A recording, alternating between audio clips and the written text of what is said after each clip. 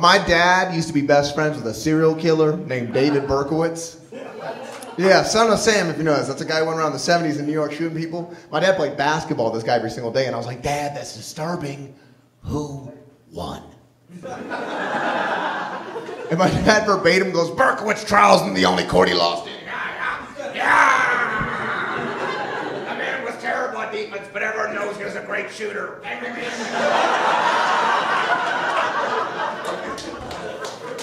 My dad goes to trial. They ask David Berkowitz at the trial. They go, "Why'd you do it?" He goes, "There's a dog outside my window telling me to kill people."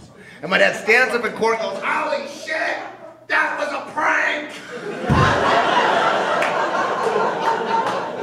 the weird thing is now David Berkowitz writes me letters, and my mom goes, "Don't write him back." And I go, "Why not, mom? He's a Christian now."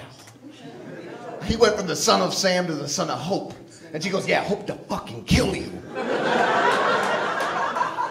So anyway, I told him that, that a movie came out about Ted Bundy and Zac Efron played Ted Bundy. And he goes, I want Zac Efron to play me. And I go, I don't think that's the right guy to play you. And he goes, Who do you think is the right actor to play me? And I said, Alec Baldwin. Because that man is a real method actor. I think Alec Baldwin should get a teardrop tattoo of an Oscar on his face.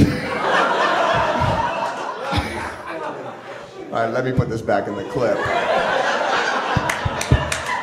Hashtag Alec Baldwin.